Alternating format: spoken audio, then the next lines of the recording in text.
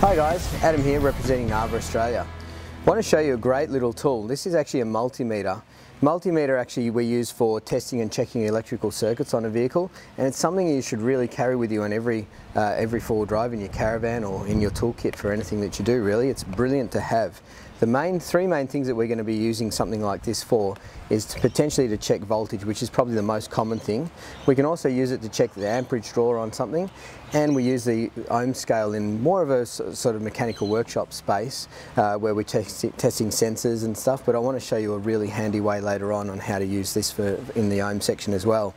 We do have to be careful when using these because, especially on more modern vehicles, uh, the, a lot of them have airbag wiring and that sort of stuff running through them. Things are very sensitive, so when you are actually using a multimeter like this, just be careful, make sure you know what circuit it is that you're testing.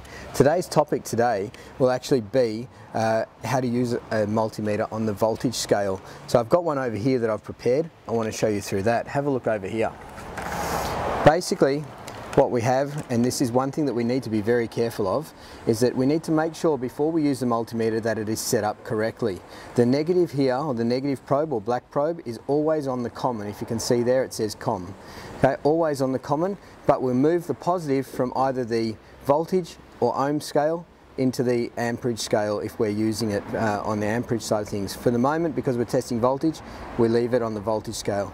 The dial will actually turn to whatever scale we're using. At the moment, obviously 12 volt system on a car, so we're using it in the 20 volt scale. The negative is always grounded when we use it, so simply to just check this on a battery, we just put the negative on the, on the negative pole, positive on the positive pole, and it gives us the voltage of our battery. Right, positive on, negative on, voltage of our battery is 12.61 volts.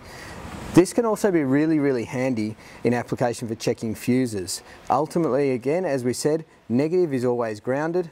If we want to check that this 30 amp fuse is working, we can go on either side of this, uh, this fuse and check and we can see that we've actually got, uh, we've got voltage on that scale as well.